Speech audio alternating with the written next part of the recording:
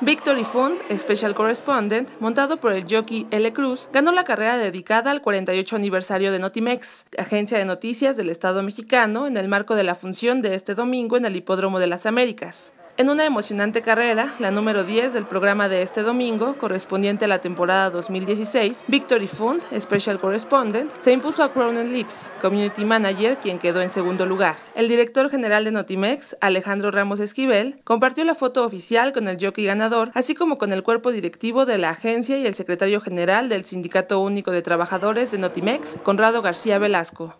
Notimex.